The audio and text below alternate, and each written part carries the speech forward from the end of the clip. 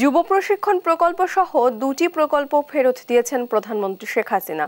প্রকল্পে নতুন ভবন নির্মাণ না করে পুরনো ভবনগুলো ব্যবহারের নিশ্চিত করার নির্দেশ দিয়েছেন তিনি।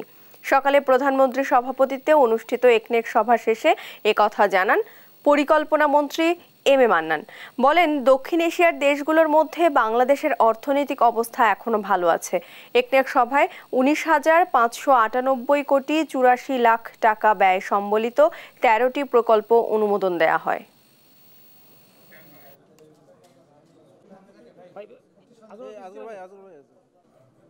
যুব ট্রেনিং যেটা আমরা ডেভেলপ করলাম, তিনি বলেন যে এতগুলা বিল্ডিং আমরা অত দেশে পড়ে আছে, খালি টিচার নাই লোক নাই, লোক বলের অভাব। এখানে আবার নির্মাণ করবেন। এটা একটা জেনারেল কমেন্ট আমি ব্যক্তিগতভাবে আই ফুলি এগ্রি আমার কিছু জ্ঞানগম্যি আছে ঘুরে টুরে বেড়াই অনেক জায়গায় ঘর পড়ে আছে। ঘরে ভর্তি ভরপুর। তো এইগুলাকে it has come to our notice